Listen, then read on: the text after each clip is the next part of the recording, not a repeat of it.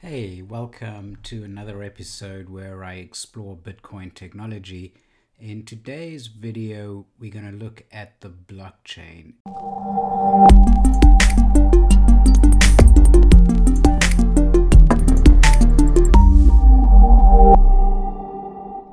And trying to explain what the blockchain is. And if you're anything like me, you're going to scream if you see another explanation that says the blockchain is a public ledger. Uh, when I was learning about the blockchain, that's all I kept coming across. And honestly, that explanation didn't help me at all because I, I was trying to understand what makes the blockchain truly unique and why couldn't I just use a database if it's a public ledger.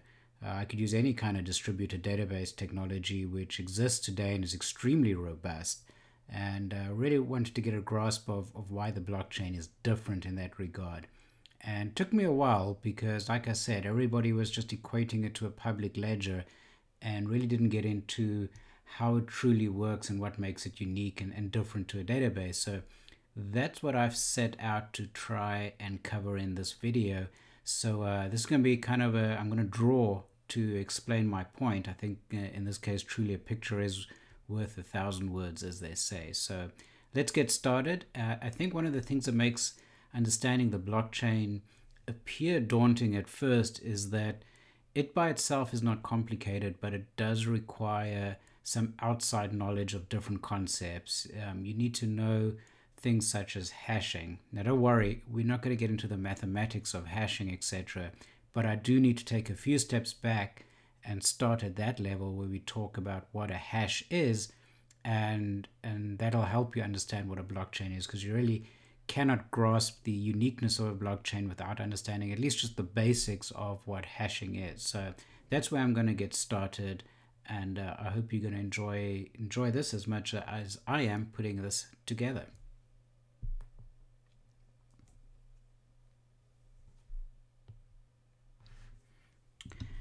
Okay, so let's take a look at, at what a hash function really is. And we, we need to understand hashing to understand what the blockchain is. Now, this is not really very difficult if for a moment you kind of suspend a little bit of belief um, as to how it happens, but just understand what a hash function actually does. Now, a hash function basically takes some form of input and produces a hash. So, for example, um, if I hashed uh, the let the word hello, it would give me some form of unique hash from that word. It's a mathematical process that it goes through to hash the word hello. And if I'm, for ex example, using a 256 bit hashing algorithm, I'm going to get back a unique 256-bit string. And that could look anything like A1, C2, F, A, etc., etc., uh, up to 256 bits long. Now, what makes this unique when we're using this form of hashing that's being used by the blockchain is anytime I hash the word hello, it will return the exact same string. It will never change. That is what we call a deterministic hash. It's always going to produce the same output for the same input. Now, another attribute or trait of this is that you can't go backwards. Once I have this 256-bit hash, I can never go backwards to find the original source of what that hash was, what it represented. So since this is a deterministic hash, it's always going to produce the same hash for the same input.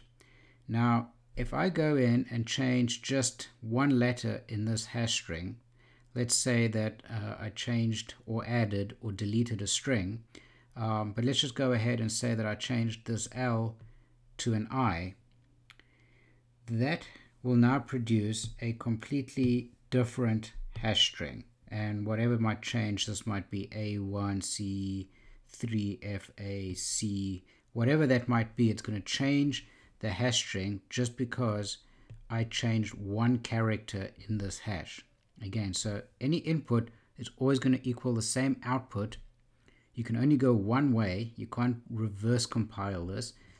And just the slightest change of a single character in this hash string will produce a completely different 256-bit hash. Now, a hash can be as simple as just hashing in one character, or I could hash the entire Library of Congress. There is no limit to what I can throw into a hash function, but my output is always going to be this 256-bit string. So it doesn't matter how short it is or how long it is, it's going to always result in a 256-bit string. So people use hashing for different uh, for different reasons. Got a lot of use, of course, in cryptography.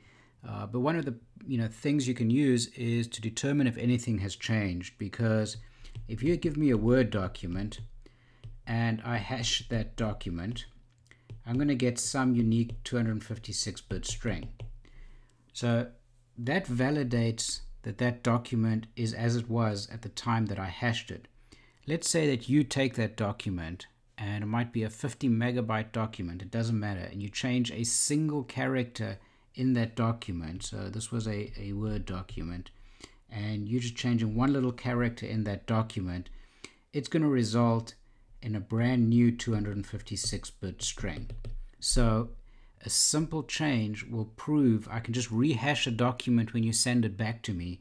And if that string does not equal the original hash, that means something has changed. So it's a great way of making sure that nothing has actually changed. You can just compare the hashes of two documents. So that's the basics of what a hash function is. And that's all you need to understand at this level of understanding the blockchain. So now with that basic understanding out of the way, let's go forth and look at how the blockchain works. Um, of course, it is a, each block is a series of transactions. So if we say that this is a block and we'll record a series of transactions in here. Now, a transaction, like I said, is A paid B5 Bitcoin with a bunch of other data, but for, for illustrative purposes, let's just go ahead and, and record transactions as some arbitrary data. Um, say 1, 2, 3, 4, 5, 6, 7, 8, 9.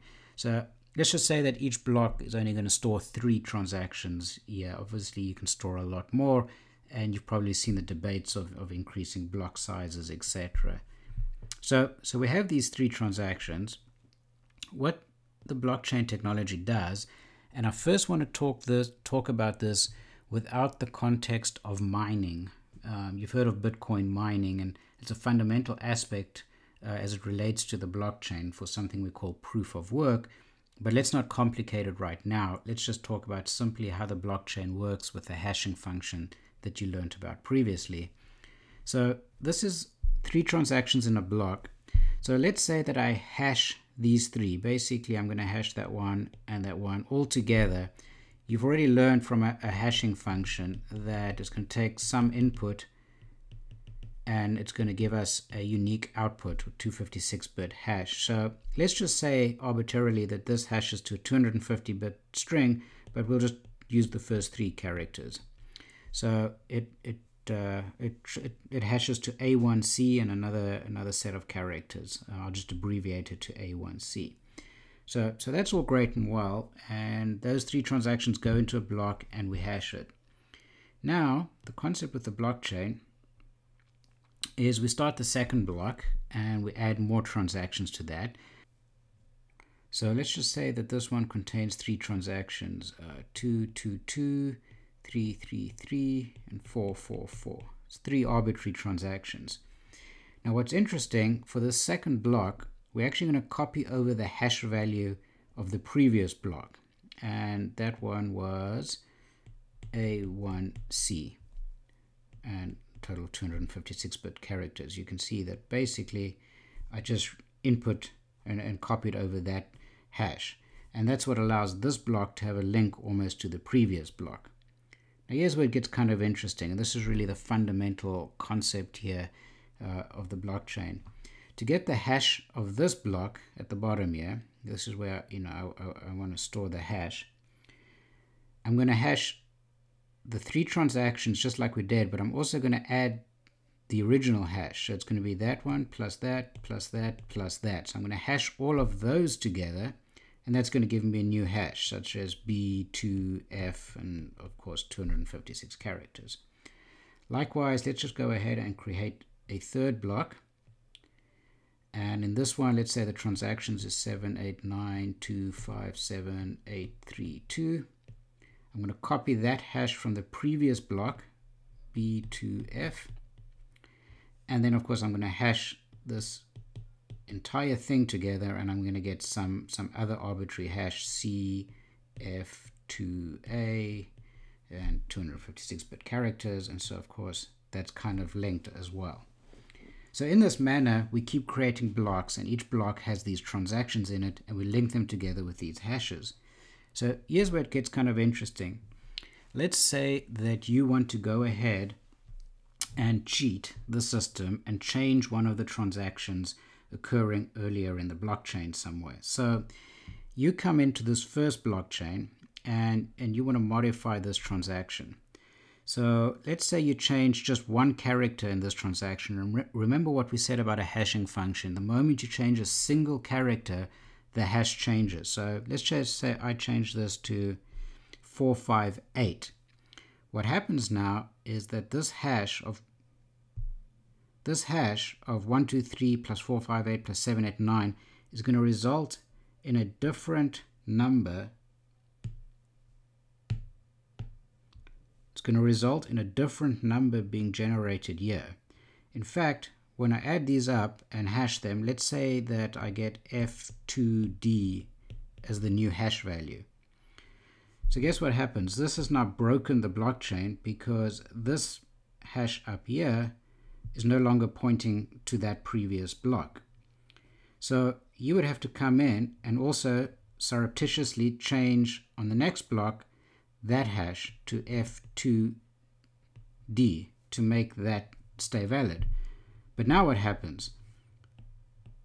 This hash gets messed up because F2D plus 222, 333, and 444 is going to result in a different hash here. This might result in AF3C as, as its hash. And once again, then that breaks this link because this one no longer points to the right previous block. So you would have to come in and modify that hash to point to the right block as well. And then once again, of course, this hash breaks. So you can see that just coming back and changing a single character somewhere up front or early on in the chain is going to cause a trickle down effect that's going to have to permeate through the entire chain. And so you would have to modify every block in the entire chain. So that makes it very difficult to do so. Now, you could make the argument, yeah, so what? So I can come in and change every one of those. So, so it's true. You, you know, potentially, theoretically, you could come in and change uh, every, every one of those nodes. So that's why, besides being distributed, you'd have to change it on, on multiple nodes at the same time, and we'll talk about that later. Um, but we add a mathematical difficulty for you to come back and actually change all of these. And the way we do that is with a concept known as proof of work. And that's really what Bitcoin mining is. So let's uh, just expand upon this knowledge of this blockchain and this hashing and let's add the uh, proof of work and you can see why we add the proof of work. It's going to make it much harder for you to come in and then try and change the entire blockchain past a certain block. So let, let's expand on our example and add proof of work and then you'll get a great understanding truly of the blockchain and how mining works. So in the same example as, as earlier, let's um, continue uh, with, with a different block structure same way as before, we have our block and we'll add transactions 1, 2, 3, 4, 5, 6, 7, 8, 9. And we are going to hash it to get some number over here uh, in, in, in, our, in our hash field. But we're not going to allow you to just hash these three numbers together. In fact, we are going to say that you must have a random some number here that when you hash all of these plus this random number, your hash value that you start here, it must start with four zeros. just as an example. And then it can be whatever the hash is, F234. So we need to hash these together. Now we saw in our previous example up here that the hash of those three result in, in a hash of A1, in, in, a, in, a, in a hash of, uh, let me wipe, in, in A1C. That does not start with four zeros. Um, so we have to find something that's going to start with four zeros and then give us a hash value. So the way we do this is we'll take 1, 2, 3, 4, 5, 6, 7, 8, 9, and let's hash it with the number 1. And we'll see what the hash results over there. So we'll hash it with the number 1 and see what hash results over here in, in our hash field. Uh, let's just say that when we take these three numbers and we plus 1 and we hash it, the answer is F23 something. Doesn't start with four zeros. Okay, so scratch that. Let's try 2. Now the hash is GAC123. Okay, doesn't start with four zeros. Scratch that.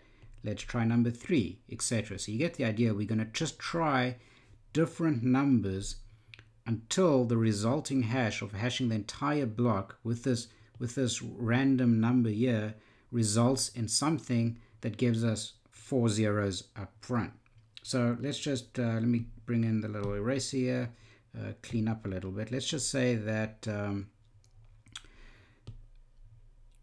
we're able to find out that, go back to the pen, that it happened to be that if I added the number 28765432199, that that was the magic number that when all three of the, all four of those were hashed together, I ended up with a hash that was 0000 AF2C and 256 bits.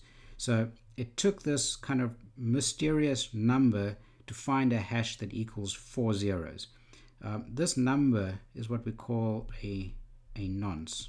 Um, don't have to worry about too much about the name, but we call that a nonce. So let's go ahead, just as we did in the above example, let, let's go ahead and create another block um, and again, in this transaction, so we'll copy over the, the hash from the previous block, which one would start with four zeros, AF2C. And then we'll have our transactions in here was 222, 333, 444. And again, now we have to hash that one plus, plus, plus, plus some mysterious number to end up with a hash that starts with four zeros. So again, we'll start at 1, then we'll go up to 2, and we'll keep going up until we find some magic number that's going to hash us, that's a hash starting with four zeros.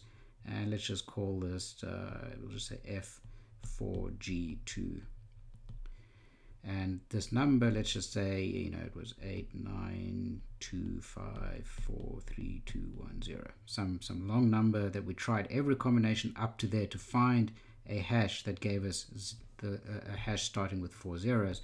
And then of course we can just complete our chain. It's the same concept. I'll copy over the previous hash from the from the previous block f462 so those are, are linked linked and we have our transactions here 789 257 832 and we're going to hash with some nonce or, or random value um, ABC and that's going to ultimately give us a hash starting with four zeros and we get some hash value. So we just modified from from that earlier example into a more complicated one where you have this this this nonce or, or random value that causes you to have to hash with four zeros up front.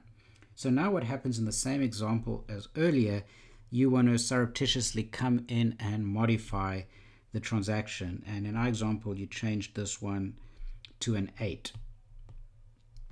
And so now what happens is when you hash all these together, of course, as you've already learned, this hash is going to change and we're going to get some new value, which probably isn't even going to start with four zeros because it was, it was a very long shot of getting one that starts with four zeros. And this new one is 8F2G, etc. And as usual, so now the blockchain breaks, that one's wrong, this chain breaks, that number changes, this one breaks. You've broken the entire chain. Now, for you to come in and just update this hash with your new hash, you can't do it because it doesn't start with four zeros. So you would need to go back and find a new nonce that when you hash it, you get four leading zeros. Now, to find this number is a lot of work. This is what Bitcoin mining is. You have millions uh, of processors around the world that try and find this unique number that generates a hash starting with four leading zeros. So you as a single individual, there's no way you can come in and quickly hash, find another uh, hash that's going to result in four zeros, four leading zeros. Now notice, not only do you have to do it for this one, let's say you were lucky enough to find a new hash that resulted in four leading zeros and you move it over into here, you now have to come in and do the same thing here and find a new nonce that's going to hash to four leading zeros. Um, it's a lot more work and then you have to do it again on this block, etc., all the way up the blockchain. And there's no way that you'll have the processing power to do this proof of work, finding out this mysterious nonce or random number every time that's going to result in four leading zeros. And that's what we call proof of work. It's a lot of processing power. There's no way that you can modify through the entire blockchain with sufficient uh, hash power to get there. And that's fundamentally what mining is. It's finding this this this number um, that would result in the a hash starting with four zeros.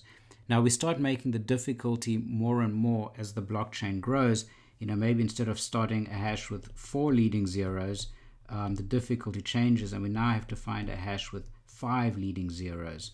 Um, so, so we can keep changing the difficulty as, as the blockchain grows. In other words, the proof of work gets harder and harder. Now, the final thing, just to, to, to wrap up that, that basic level of understanding, is that that blockchain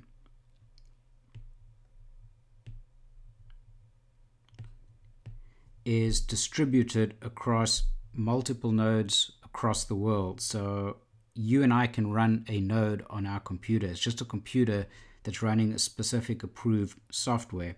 So we have all these computers around the world and literally millions of them or potential for millions of nodes that can all be interconnected and each one of these have a full copy of the blockchain on them.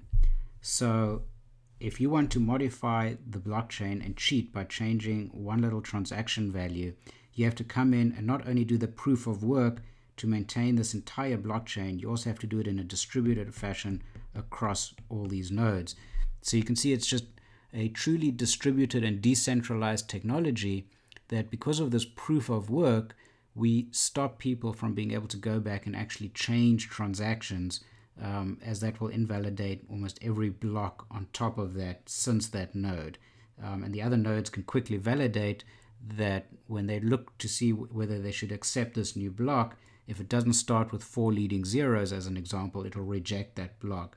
So it's going to be very, very difficult for you, uh, basically impossible, to go back and change anything back in the blockchain. So that's the fundamentals of a blockchain. Uh, of course, there's a lot of details there that uh, I've, I've, omitted, but uh, hopefully it's uh, rather easy enough to understand it at that level. I know this was a fairly long video, but uh, that's the blockchain for you. And at some point, you just have to get in and, and dive in.